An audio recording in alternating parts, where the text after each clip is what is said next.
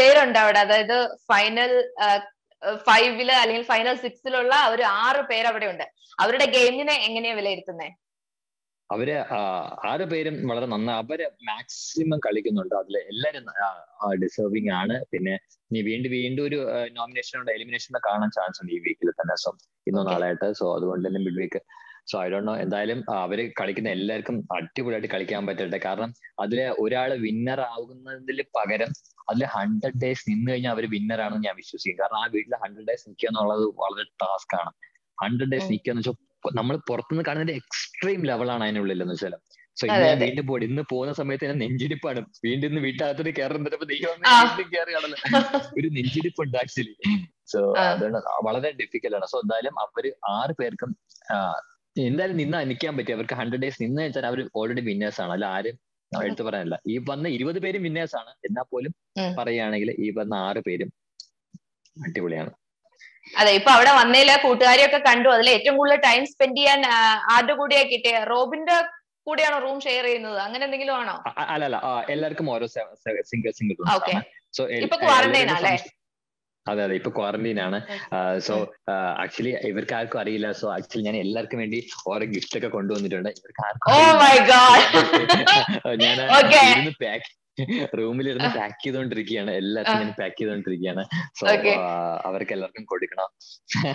റൂമിൽ എല്ലാവർക്കും അവിടെയുള്ള ആറ് പേർക്കാണോ? അല്ലല്ല ടോട്ടൽ ഇരുപത് കണ്ടസ്റ്റൻസിനും ബിഗ് ബോസിലെ ഏകദേശം ഒരു മേജർ ക്രൂസിന് എല്ലാവർക്കും വേണ്ടി ഞാൻ ചെയ്തിട്ടുണ്ട്. ലാലേട്ടനും കൊണ്ടുവന്നിട്ടുണ്ടോ? ലാലേട്ടനെ കൊണ്ടുവന്നിട്ടുണ്ട്. അതെ അതെ. അടിപൊളി അടിപൊളി. ഓക്കെ.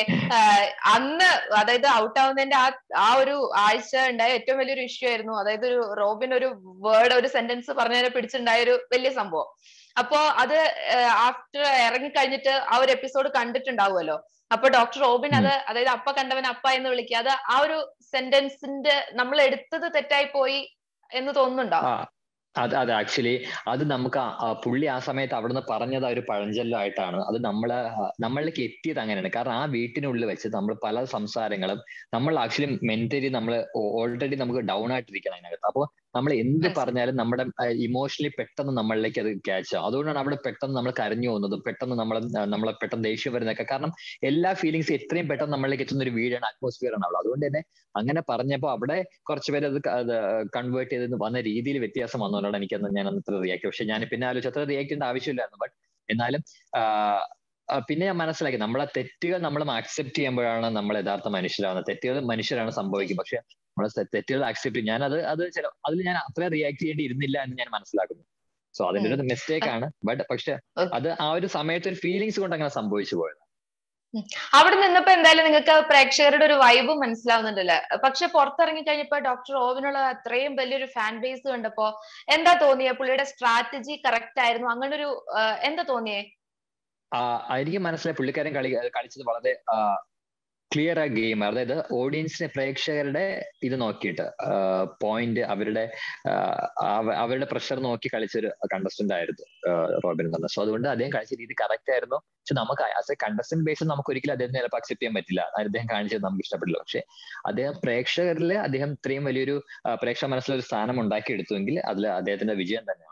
അതിൽ നമുക്കൊന്നും പറയാം. കാരണം അതിനിപ്പം മറ്റൊരു മറ്റൊരു കണ്ടസ്റ്റനും കിട്ടാത്ത ഒരു അദ്ദേഹം ചെയ്തിട്ടുണ്ടെങ്കിൽ അത് അദ്ദേഹത്തിന് വിജയം തന്നെയാണ്. കാരണം എന്തൊക്കെ പറഞ്ഞാൽ പോലും അതൊരു അത് ഇത്രയും ജനങ്ങളെ ഏറ്റെടുക്കുക എന്ന് പറയുന്നത് അത്ര കുഞ്ഞു കാര്യമൊന്നുമല്ല അല്ലെ? നമ്മളെ ആരാധന ഇത്രയും ലക്ഷക്കണക്കിന് ആൾക്കാർ ഇഷ്ടപ്പെടുക. അതൊരു വലിയൊരു വിജയമാണ് അദ്ദേഹത്തിന്റെ. ഓക്കെ ഇപ്പൊ ഇരുപത് പേരുണ്ടായിരുന്നു നിങ്ങൾ ഇതിൽ ലൈഫ് ലോങ് എന്റെ കൂടെ ഉണ്ടാവണം അല്ലെങ്കിൽ ആ ഒരു സൗഹൃദം എനിക്ക് വേണം എന്ന് ആഗ്രഹിക്കുന്ന ഒന്നോ രണ്ടോ ആളുകളുടെ പേരൊന്ന് പറയാൻ പറ്റുമോ കുറച്ചു പേരുണ്ട്. അതിൽ അപർണ ചേച്ചി ഒരു വലിയൊരു ഇഷ്ടമാണ് എനിക്ക് പിന്നെ